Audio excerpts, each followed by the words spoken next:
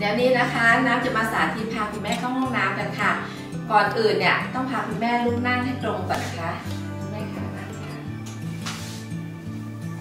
แล้วลดนะคะ แล้วก็เปิดพนักพิงสองข้างออกมาอย่างนี้เลยนะคะ เปิดให้สุดเลยนะคะ แล้วก็ดันเข้าไปข้างในค่ะสอดเข้าไปใต้เตียงให้ตรงกับผู้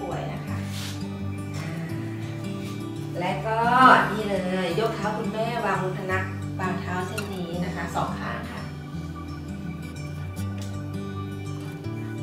ได้อย่างนี้เสร็จแล้วก็ดันลดเข้าไปให้ชิดนะคะ ชิดขอบเตียงเลยค่ะ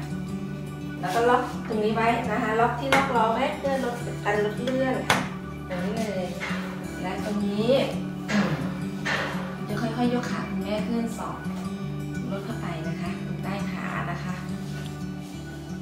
แล้วค่อยๆยกแขนคุณแม่ขึ้นเพื่อที่สอดอ่า เช่นกันนะคะทำเหมือนกันเลยนี่ด้านหลังก็เหมือนกันค่ะข้างนี้พอได้แบบนี้เสร็จนะคะ ตรงนี้พนักพิงด้านหลังนะคะแล้วก็ล็อกตรงนี้ไว้ซะเพื่อลดการลดเลื่อนนะคะ ตรงนี้ล็อกชั้นที่หนึ่งนะคะอ่าต้องได้ยินเสียงปึ๊บอย่างนี้ด้วย แล้วนี่คือล็อกชั้นที่สองนะคะเข็มขัดคาดไปค่ะอะกว่าลดเลื่อนเนี่ยจากการผู้ป่วยจะได้ปลอดภัยค่ะ และทีนี้อะเดี๋ยวจะพาคุณแม่เข้าห้องน้ำแล้วนะเครื่องคุณแม่ผู้ป่วยห้องน้ำได้สบายๆเลย